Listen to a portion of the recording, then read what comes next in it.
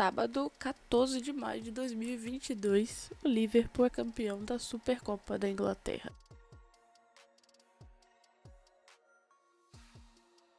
O título em questão não era dos Reds desde 2006, quando eles derrotaram o West Ham United por 3 a 1 nos pênaltis. Dessa vez, a vítima foi o Chelsea, que perdeu por 6 a 5 nas penalidades no Wembley, após um 0 a 0 que persistiu por todo o tempo regulamentar e dois tempos de prorrogação.